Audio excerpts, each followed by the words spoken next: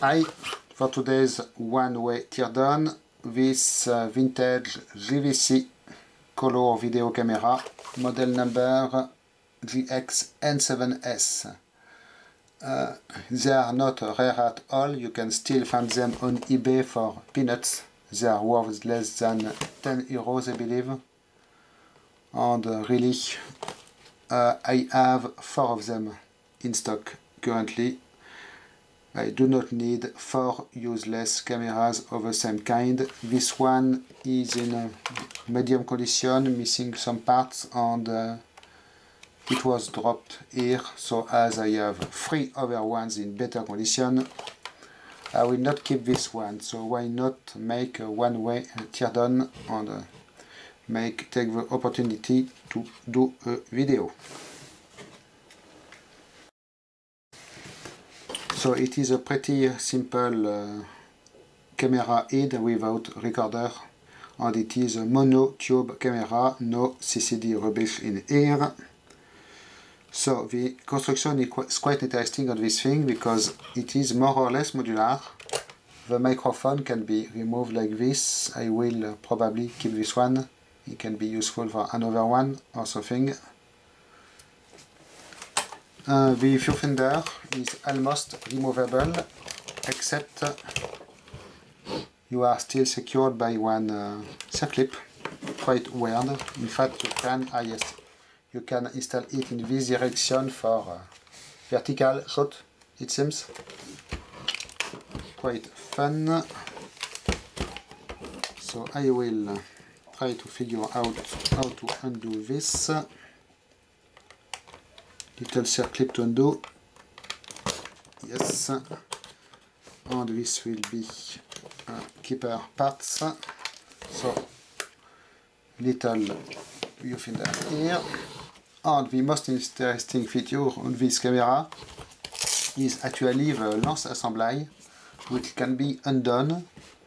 And probably you could swap with another one another model but I have never uh, seen only this one mounted on this model of cameras, never seen any other model of lens. It will disconnect like this with two regular, uh, very Japanese kind of uh, wiring connectors like this and connect to the camera in this way. It is uh, interesting. You can see the mount here with the uh, face of a picture tube, the lens mount, matching part here, and I see a golden like a part here, like a light sensor, something like this. So it will be interesting to look at it. We will start with the viewfinder, I believe.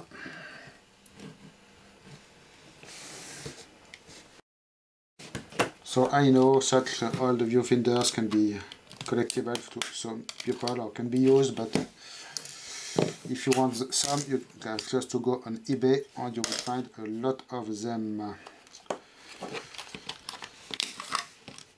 And this one is really uh, very, very, very tiny uh, tube. Probably we have bad capacitors in this anyway. Uh, apparently, free status LEDs here for uh, exposure and uh, recording. Just some plastic scrap here. So let's open this real quick. This should be easy enough. So we can expect in this nice vintage, typically Japanese electronics. Maybe some interesting uh, bodges, some interesting uh, unusual parts.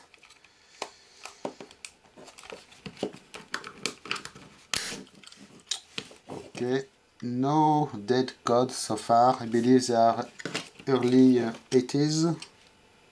Yes, it is really, really small. Okay, a board here on the hinge, interconnect, and your tiny picture tube with actually two rusty screws securing it to the plastic. So no regrets here. Apparently this thing has taken some moisture.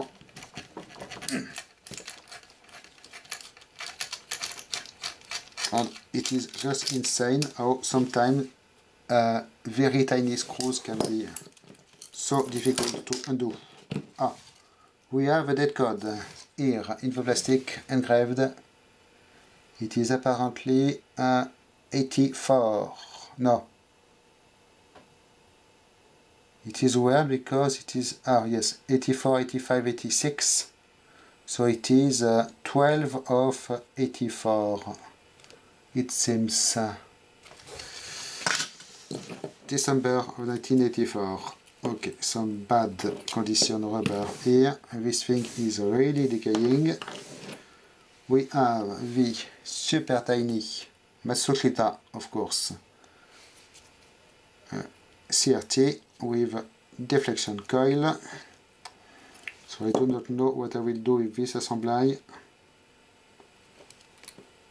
I can try to reverse engineer it and power it maybe.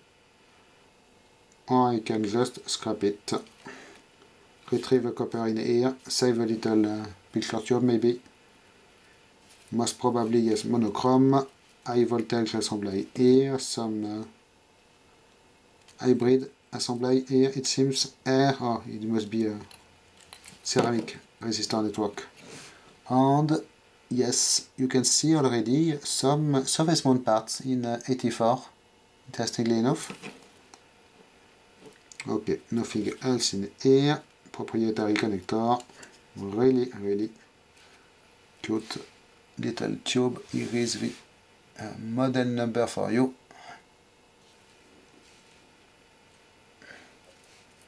But pretty much useless. In particular in monochrome. Okay, what do we do next? Uh, the lance assembly. So here, the interesting part will most probably be the uh, apparently primitive autofocus system here with uh, infrared beam, infrared triangulation or something like this. So this might be interesting to look at if I can take apart this thing without spending hours of unscrewing because I know it is annoying for you. Okay, interesting concept here. Some uh, copper plate to retrieve at least. And this cover is hiding the controls for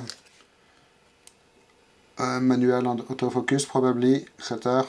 Yes, this is the focus, uh, exposure, manual and auto and iris or diaphragm. Okay, uh, next uh, I believe this bottom shell should come off.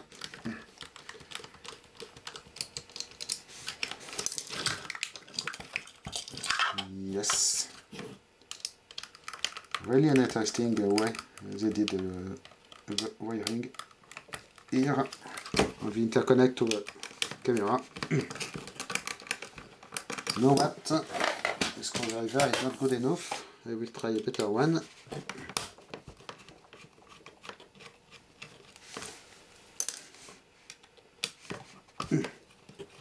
I try to uh, not use too much my good uh, Facom screwdrivers, but really for some things it is the only screwdriver that will work correctly. So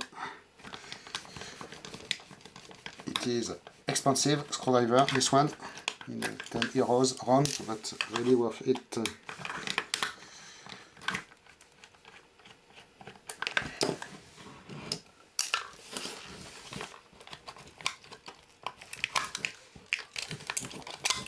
Okay, bottom shell is off, a lot of plastic rubbish by the way, and a lot more electronics than expected. As you can see,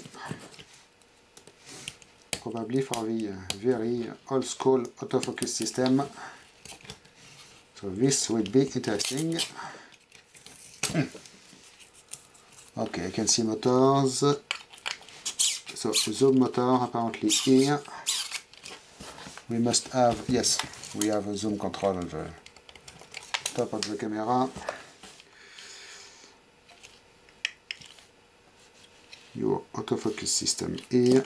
I will not probably take completely apart the lens assembly itself, but I want to dig in here and check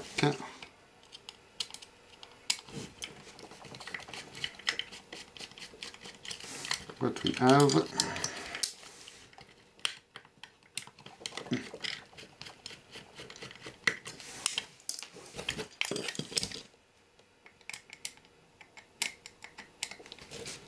So really I am missing the flea markets. Since the COVID there is no more flea markets. And it was always an opportunity to get things like this for real cheap and play with them. Luckily enough now we have the e-waste recycling containers in the shops where sometimes I can get something but most of the time it is just uh, steam irons, air dryers and uh, cordless uh, telephones without any uh, interest. Most of the time the interesting stuff in the e-waste uh, bins are uh, the stuff I did put myself. Okay, uh, this is completely in the way so I undo this.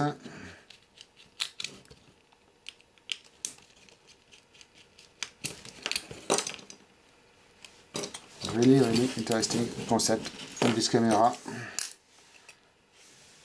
Not common at all. Well, I mean only this camera had uh, features. Uh, interchangeable lens like this, I believe, without a proper connection. Okay. Uh, what to do next? I believe I am interested in this part here. So apparently we have a mirror here receiving light from a prism, probably in here, for a light uh, sensor, probably light sensor probably, and we have all the autofocus stuff. So uh, what to do? Sorry, it will be quite a lot of unscrewing, but at least the screws here are easy to undo.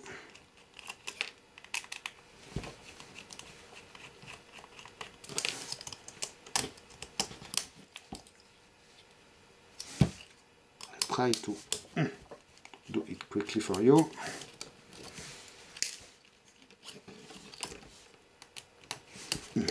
Maybe I will succeed, maybe not. Okay, this is annoying, I will undo here. I want to check this light sensor, at least.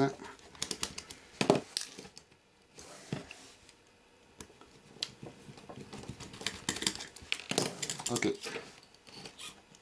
Uh, tiny, tiny, tiny photodiode, it seems. Yes, in a gold package. So this is interesting. Connected to the main board with coax wire. So what I will do is to uh, undo the bottom board here at least because I want to access the autofocus sensors. Mm. It's really annoying little screws. In this area okay uh, it is not going back together. Oh, oh, oh, oh, oh, look at this. It looks like we have a decaying rubber band plague here. Where is it? Where is it? Yes. Uh, probably we have rubber band in here and there is nothing left of it otherwise fun to find this. Let me grab my cutters and remove some of the wires.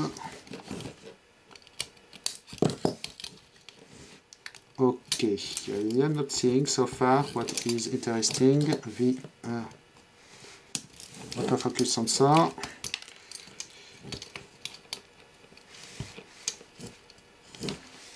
Let me get rid of this board completely.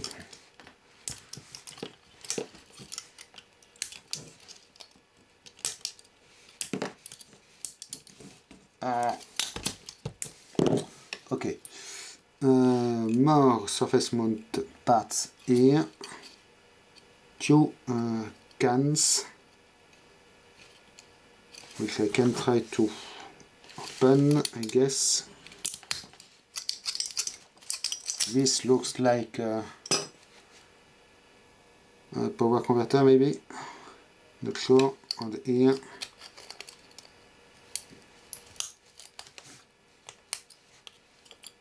Some precision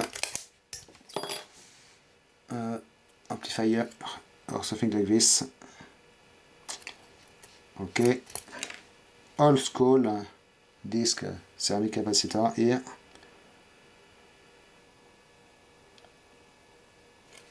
But nothing of particular interest in this area. So where is our infrared? Ah autofocus sensor?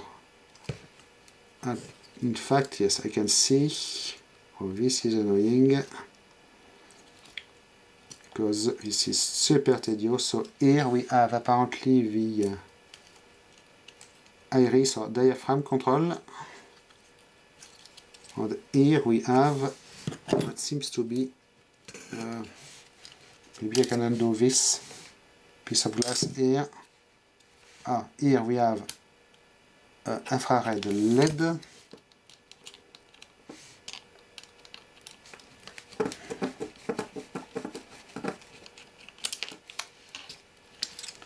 and it is returning through this lens here to this particular piece which seems to be nothing else than a photodiode and it is actually uh,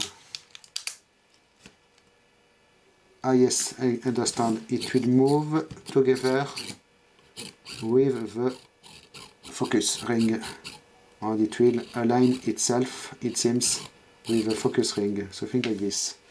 And really a small, uh, yes, photodiode here, nothing else than a photodiode. Okay, we are left with this assembly, which seems to be super tedious to take apart. So two motors, ah, here is our decaying belt rubber, look like this. So this thing is done. It means the three other ones I have might be in the same condition. Uh, at least I know I can undo easily the bottom part here and check the condition of the rubber. Okay, this is a galvanometric assembly I believe. And a lot of tiny stuff. but this should be too tedious to take apart. Now in particular with this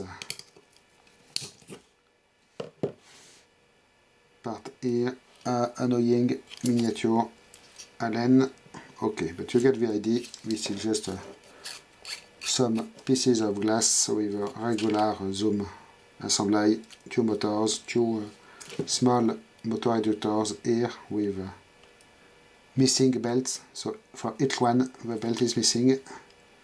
And your galvanometric iris control. Okay probably a nice prism inside here but not uh, ah maybe maybe actually.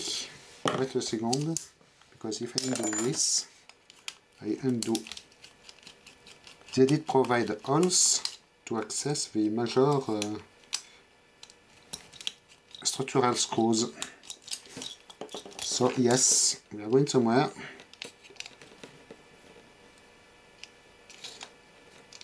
we have one screw probably hidden here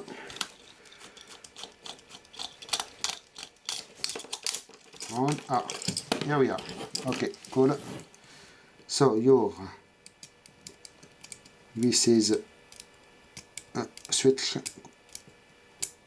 with golden tracks on the PCB your iris control here little galvanometric galvanometer motor here probably.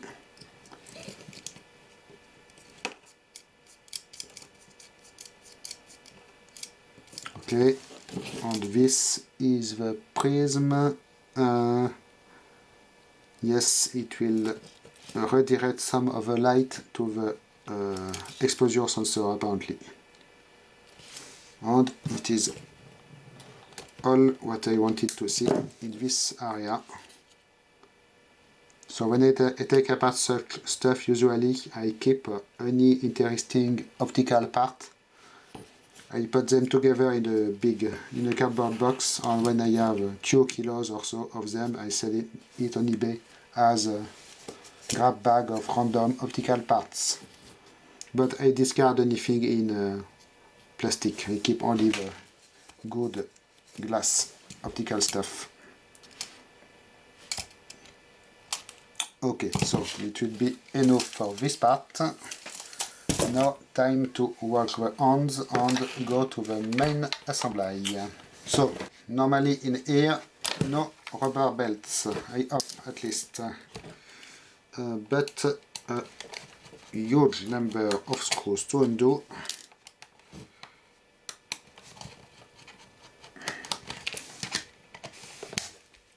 To access the so I believe it will be a two circuit board construction most probably.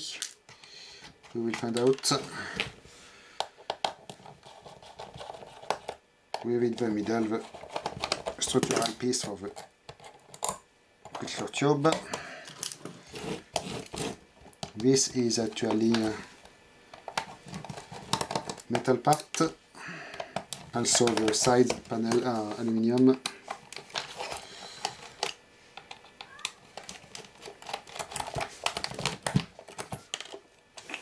Okay some kind of uh, Zamac or zinc something like this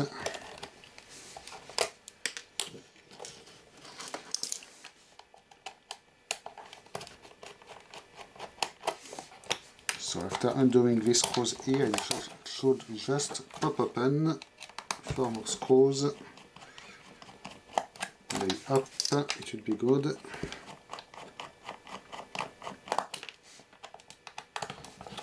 really I am happy to get rid of this camera because having four times the same camera is a little bit crazy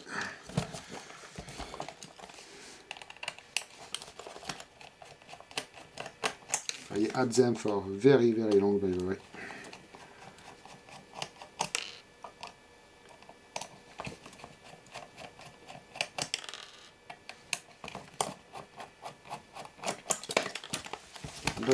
Lots of screws to salvage. I have only uh, 30 kilos worth of screws, so I need to salvage more of them.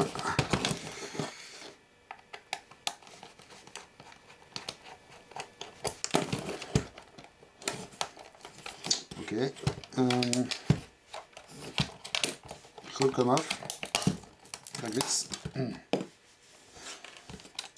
Probably not completely the correct way to do it, but it worked. Uh, yes, same. Ah, January of 85 in this part.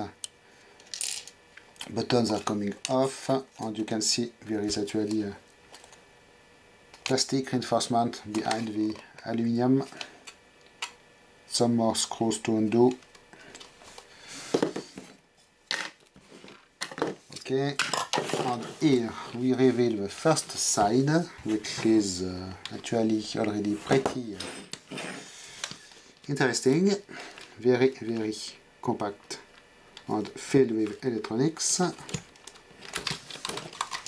apparently we have more of those hinge uh, contacts interconnecting the bonds. So the other side should come off as so. Did I forget to screw? No. Ah, maybe. Ah, of course.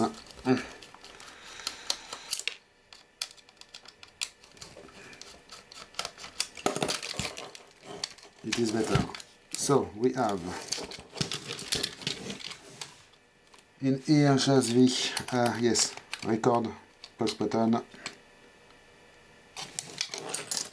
GVC Smith Voy testing.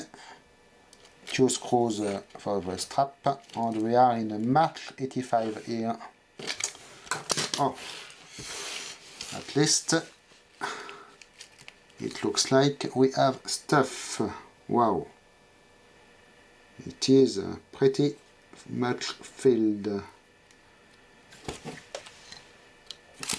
so probably here in this nice uh, copper can uh, DC to DC converter for the power supply. You can see the sticker with uh, model number.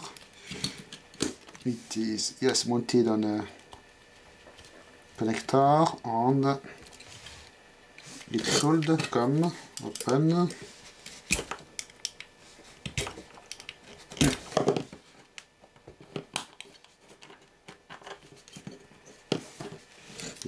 maybe maybe not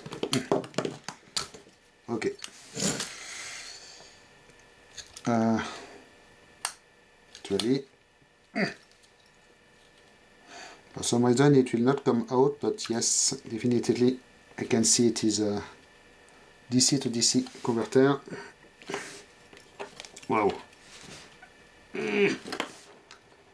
Interesting. At least there is a nice copper box to retrieve okay then we have this bottom panel looks like. Looks like we have hidden screws under the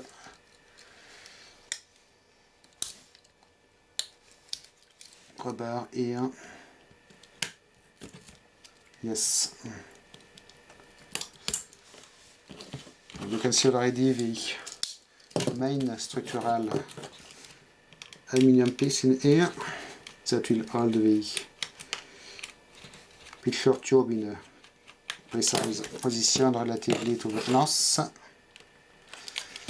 Okay, wow, at least no shortage of electronics. Quite interesting thing here, this piece of loose wire, not sure. We have nice modules that should require complete unsoldering to look at each one of them. I was not expecting uh, this. A little fuse here for your safety and it looks like it should be possible to extract at least the picture tube. Okay, hinge like this. Serious shielding here must be yes the uh, voltage power supply for the picture tube of course a loose connector here on the picture tube and I want to undo the electronics completely.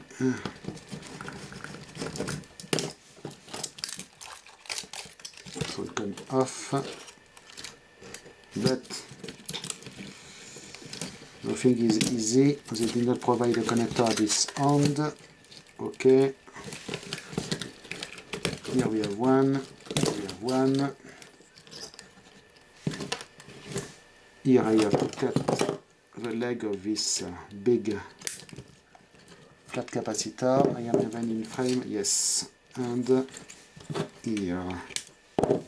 So I get rid of some shieldings wow.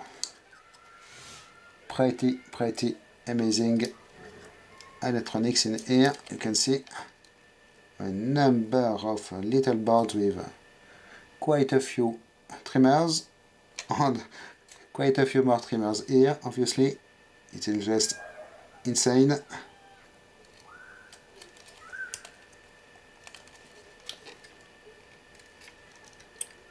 Uh, very shielded box here for the uh, video final application maybe or the amplifying from the picture tube yes uh, you will not be able to see each one of these boards in detail except if I work them loose but I do not want to do this for now. Uh, this is quite a display piece in fact. Quite amazing uh, construction here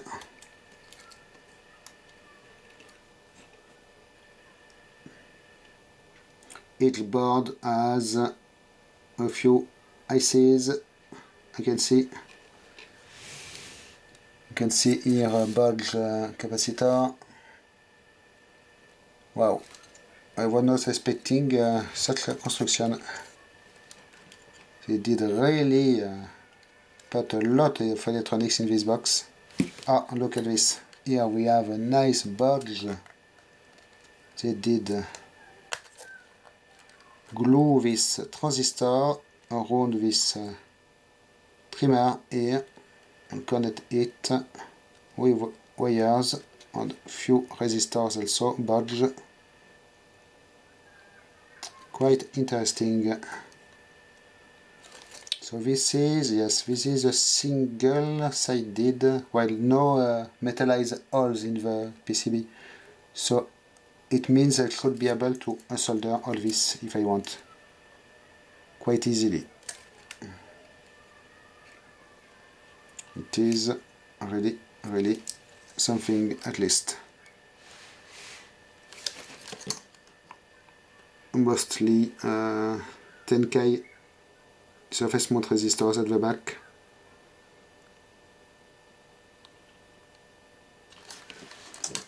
okay and we are left with this uh, picture tube assembly you can see aluminium mounting box here for the yes probably amplifying the signal out of the picture tube. On the in here we will have copper deflection coils. So I will try to extract completely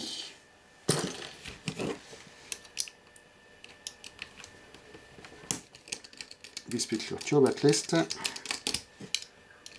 see what we have exactly. Okay.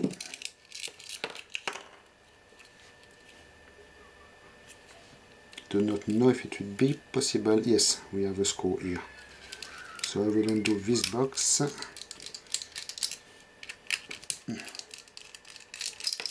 So it is making a terrible mess on my bench as always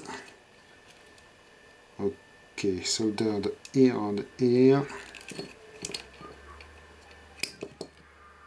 but there is something interesting to show you I believe. So I will try to open this box. Oops. It will not collaborate. Uh, because we have here actually you see these two wires and here we have this assembly going to the front of the tube. So for uh,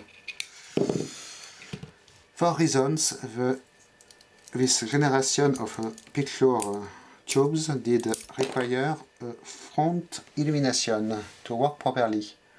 Sometimes it is done with LEDs but here it is done with uh, two little bulbs like this in the front. Shining on the side here it seems of this piece of glass quite interesting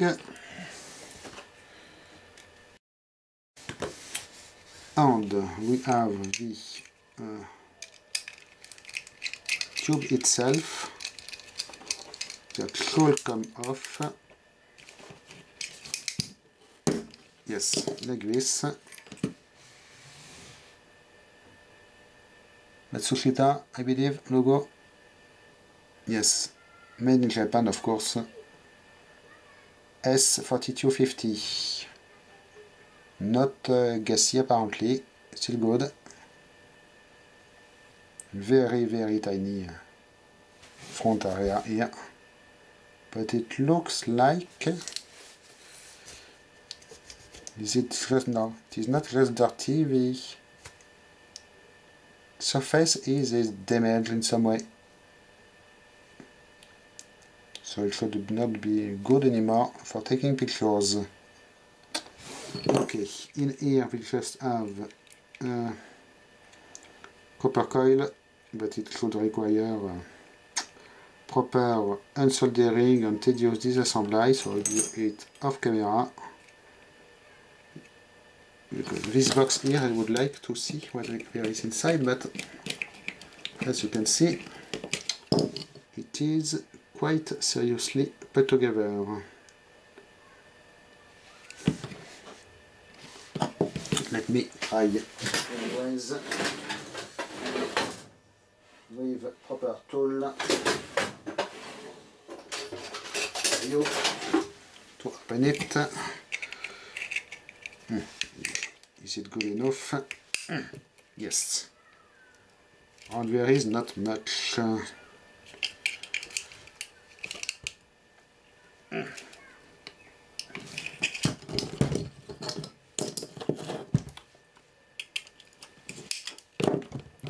like this. So this is becoming dangerous. Okay.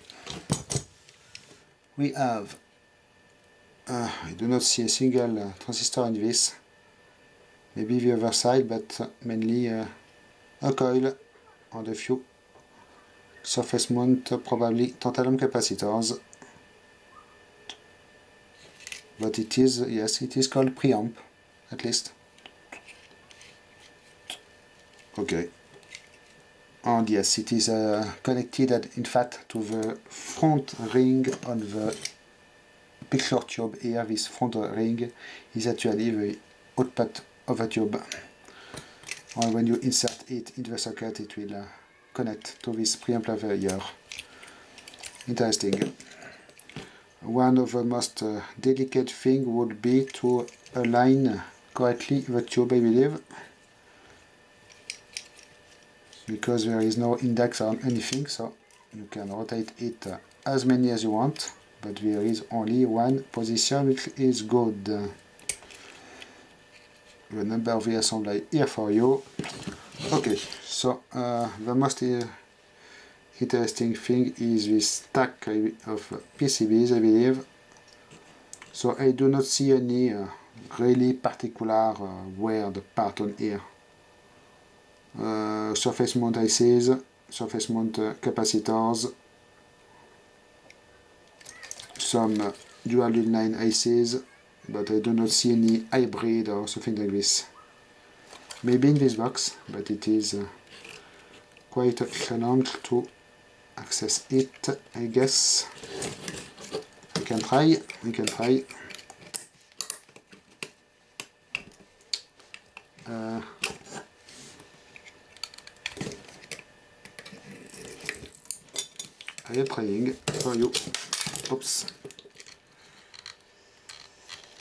Okay. We have solder bridges at three different spots, holding the can in place. One here, one here, and one on the top here. Okay. Should come off.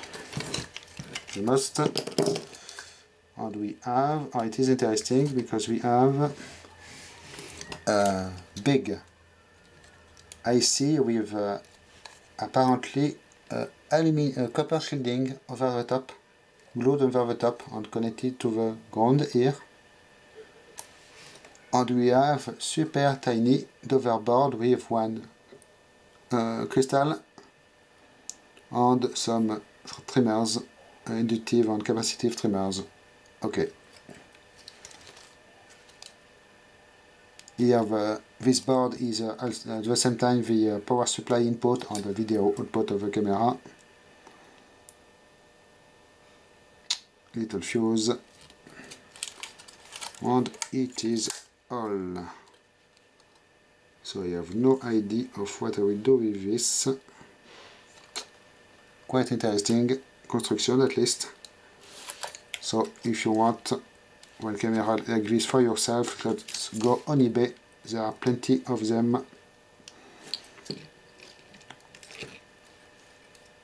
Still around. Okay. So I will uh, clean my bench now. Uh, it was a fun one. GVC GXN7S and I still have three more of these cameras in my stock. I need to check about the decaying rubber belt but I believe it would be the same one for the same thing for each one of them sadly enough. So thanks for watching, bye bye.